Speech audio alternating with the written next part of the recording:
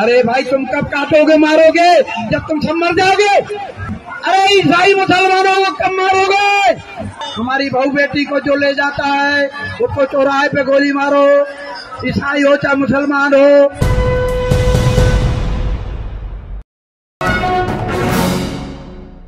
देश के मुख्तलिफ़ इलाकों में लगातार धर्म संसद के नाम पर मुसलमानों के खिलाफ जहर उगलने का सिलसिला जारी है।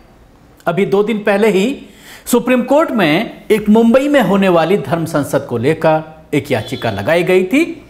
लेकिन इसी दौरान कल, यानी रविवार को, दिल्ली के जंतर मंतर में भी धीरेन्द्र शास्त्री के नाम पर एक धर्म संसद का आयोजन किया गया। और इस आयोजन में जिस तरह से मुसलमानों के खिलाफ खुलेआम ये चेतावनी दी गई कि मुसलमान और ईसाइयों को के खिलाफ हथियार उठाना होगा। अगर कोई उनके साथ उनकी बच्चियों को उठा करके लेके जाता है, बच्चियों के साथ शादी करता है तो उसको खुलेआम चौराहे पर गोली मार दी जाए। इस तरह की बातें इस धर्म संसद में कही गई।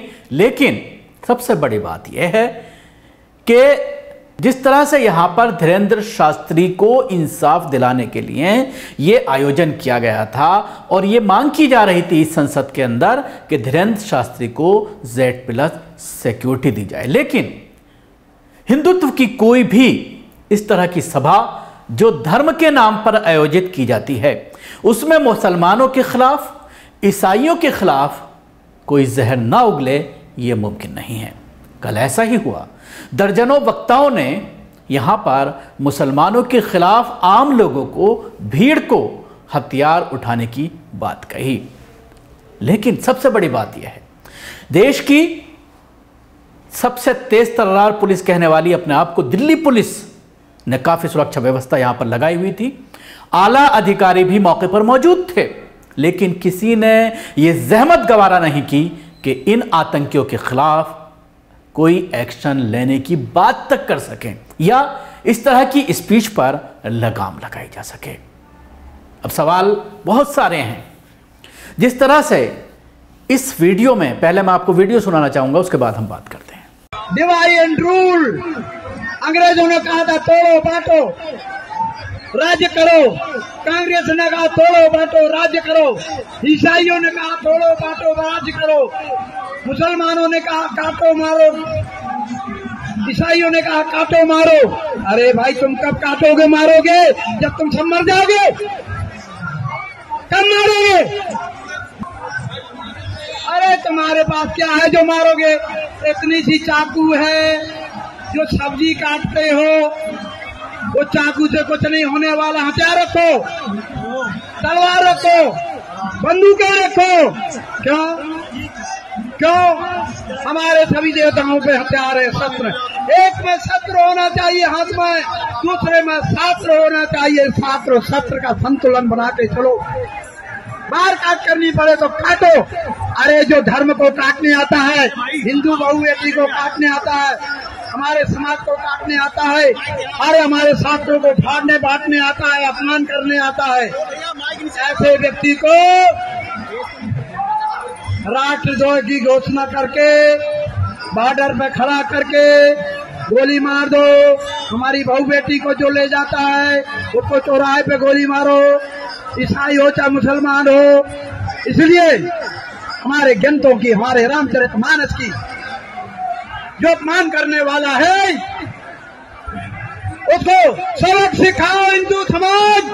तो आपने देखा किस तरह से इस वीडियो में खुलेआम मुसलमानों के खिलाफ हथियार उठाने की बात कही जा रही है और यह कहा जा रहा है, भड़काया जा रहा है हिंदुओं को कि अगर आपने ऐसा नहीं किया तो आपके साथ बहुत कुछ गलत हो सकता है। इसके साथ ही जो फ्यूचर में फर्जी जो कहानियाँ सुनाई जाती हैं, फर्जी जो इतिहास अब लिखा जा रहा है, भारतीय जनता पार्टी के कुछ इतिहासकारों के ज़रिए। और ये भ्रम फैलाने की कोशिश की जा रही है कि मुसलमानों ने हिंदुओं के ऊपर बहुत ज़्यादा मजालिम किए हैं। उस वक्त जब मुसलमानों की हुकूमत भारत में 700 साढ़े सात सौ साल रही तो उस दौरान हिंदुओं को दूसरे दर्जे का नागरिक बनाया गया। इस तरह की भ्रम फैलाया जाता है। हालाँकि ये सारी चीज़ें फर्जी हैं। इनकी कोई वास्तविकता नहीं है। इनका जो लिखा जा रहा है, अब नई हिस्ट्री नई, हिस्ट्री, नया इतिहास जो लिखा जा रहा है, उसका कोई सबूत नहीं है।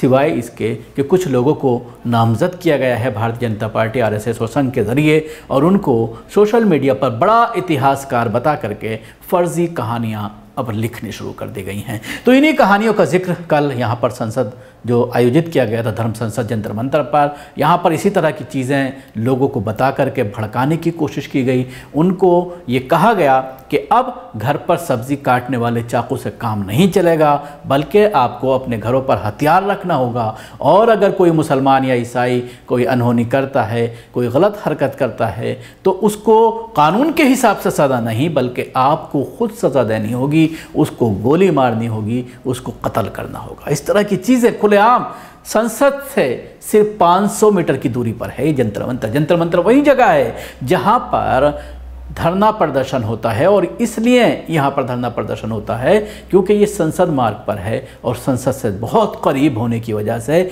लोग संसद तक आवाज़ पहुँचाने के लिए यहाँ पर पहुँचते हैं ख़ास तौर से जब संसद चल रहा होता है। अभी संसद चल रहा है, बजट सत्र चल रहा है, हालाँकि कल छुट्टी थी, संडे था, कोई सत्र नहीं था, लेकिन इस तरह की धर्म संसद का आयोजन किया गया। अब सवाल यही खड़ा होता है कि दिल्ली पुलिस जो अपने आप को सबसे ज़्यादा तेज़ तर्रार पुलिस कहती है, ये कहती है कि सबसे ज़्यादा उसके पास इक्विपमेंट है और वो ज़ीरो टॉलरेंस टॉलरेंस की बात करते हैं कि किसी भी तरह से अपराध पर लगाम लगाई जाती है। लेकिन पिछले कई सालों से दिल्ली पुलिस सुप्रीम कोर्ट में मुँह की खा रही है। दिल्ली पुलिस लोअर कोर्ट में भी मुँह की खा रही है। आपने देखा दिल्ली दंगे में जिस तरह से दोहरा रवैया दिल्ली पुलिस के ज़रिए अपनाया गया, जिस तरह से मुसलमानों के खिलाफ एफआईआर दर्ज की गई, अभी भी जिस तरह से झूठे केसेस अभी मुसलमानों पर लगाए गए हैं। हालाँकि कहीं ना कहीं बहुत सारे केसेस ऐसे हैं जिसमें कोर्ट में मुसलमानों को इंसाफ मिल रहा है और ये बात साबित हो रही है कोर्ट के अंदर कि फ़र्ज़ी कहानियाँ बना करके पुलिस ने खुद अपने पुलिसकर्मियों के ज़रिए बहुत सारी एफ़ कराई हैं और जब मामला ये कोर्ट में पहुँचता है, साक्ष्य की बात की जाती है, सबूत की बात की जाती है तो उसके बाद पुलिस की पूरी कारकर्दगी फुस नज़र आती है।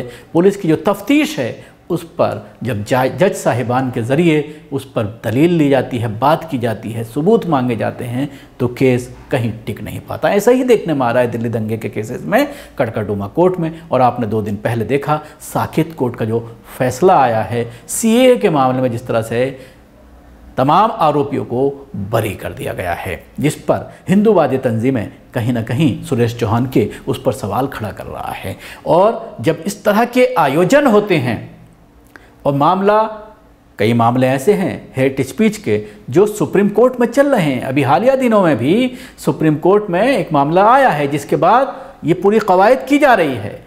और ये कहा जा रहा है कि हमें घेरने की कोशिश की जा रही है सुप्रीम कोर्ट के ज़रिए। और सुप्रीम कोर्ट अंकुश लगाना चाहता है। कभी आता है मामला देश को हिंदू राष्ट्र बनाने का, और उस पर बहस अब हो रही है। क्या देश को हिंदू राष्ट्र बनाना गैरकानूनी है?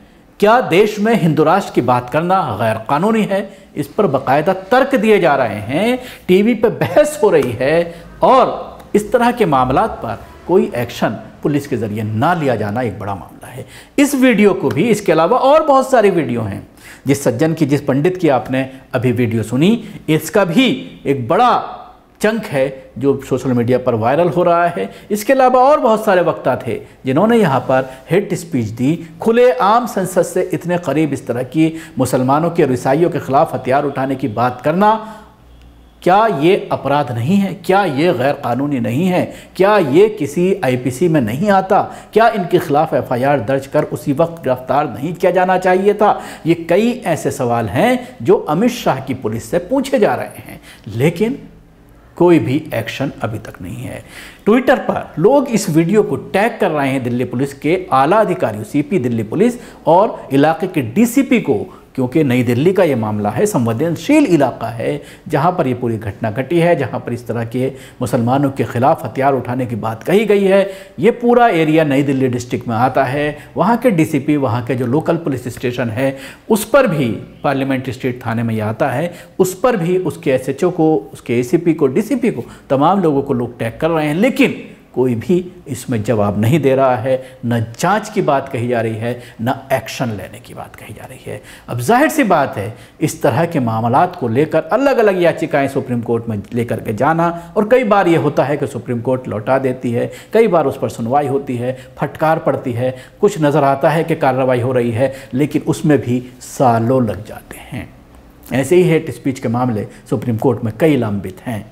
आपने देखा था, हरिद्वार में जो धर्म संसद हुआ था, जिसमें वसीम रिजवी का मामला था और यति नरसिंगरन सरस्वती का भी मामला था, दोनों को ही लेकर के सुप्रीम कोर्ट ने जिस तरह की बातें कही थी, उसके बाद वसीम रिजवी को जेल जाना पड़ा, कुछ शर्तों के साथ उसको जमानत मिली, लेकिन यति नरसिंगरन सरस्वती पहले ही दो तीन दिन के अंदर जेल से बाहर आ गया। तो सवाल यही है कि मामला न्यायालय में भी पहुँचता है, लेकिन वहाँ पर भी पुलिस कुछ ना कुछ बहाने बना करके टाइम बढ़ाती चली जाती है। एक्शन नहीं होता, गिरफ्तारी नहीं होती। अगर इस तरह के लोगों को खिलाफ संविधान के अनुसार कार्रवाई की जाए। इस तरह के लोगों के खिलाफ अगर संविधान के हिसाब से एफआईआर दर्ज की जाए, सलाखों के पीछे पहुँचाया जाए, सही से इस केस को लड़ा जाए तो शायद इस तरह की चीज़ों पर अंकुश लग जाए। लेकिन जब से भारतीय जनता पार्टी केंद्र में आई है, अमित शाह गृह मंत्री बने हैं तो इस तरह के लोगों को खुली छूट दी जा रही है और एक साइलेंट मैसेज पुलिस को दिया हुआ है, चाहे वो किसी भी राज्य की पुलिस हो, कि इस तरह के केसेस में एफआईआर दर्ज नहीं करनी है। अगर दूसरी तरफ़ आप देखते हैं, कल गोकुल यूनिवर्सिटी का एक मामला सामने आया। उसके अलावा अलीगढ़ मुस्लिम यूनिवर्सिटी का मामला 26 जनवरी को सामने आया। उसमें आपने देखा किस तरह से तुरंत सोशल मीडिया पर वीडियो वायरल हुई, तुरंत एफआईआर दर्ज कर ली गई।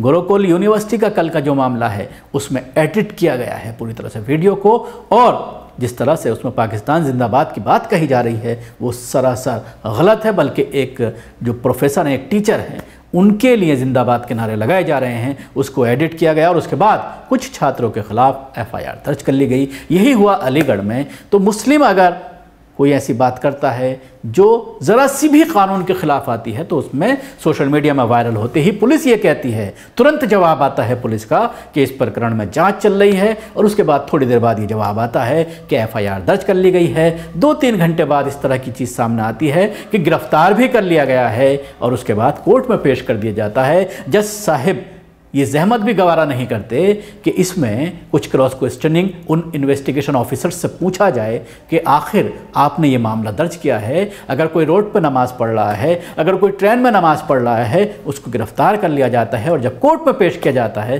तो उनका चलान कर दिया जाता है, जेल की सलाखों के पीछे डाल दिया जाता है। कोई क्रॉस क्वेश्चनिंग नहीं होती, क्योंकि अगर आप राज्य की बात करें जुडिशली सिस्टम की बात करें तो लोअर कोर्ट में देखने में आता है S D M D M की जो अदालतें होती हैं, वो पूरी तरह से राज्य सरकारों के अधीन होती हैं और उसी वजह से इस तरह के फैसले राज्य के जो ऑफिसर्स हैं, उनके ज़रिए दिए जाते हैं। शुक्रिया, आपको हमारी कोशिश कैसे लगी ज़रूर बताएँ। हमारे यूट्यूब चैनल को सब्सक्राइब करना ना भूलें। इसके साथ ही बेल आइकन ज़रूर दबाएँ। अगर आप ये वीडियो फेसबुक पर देख रहे हैं तो पेज को लाइक करें उसके साथ ही फॉलो भी करें। धन्यवाद।